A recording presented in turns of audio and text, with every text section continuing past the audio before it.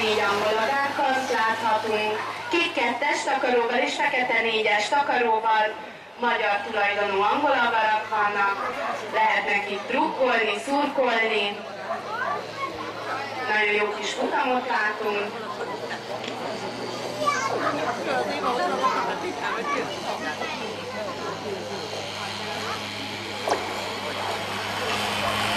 Kicsi megyünk át 280-ra.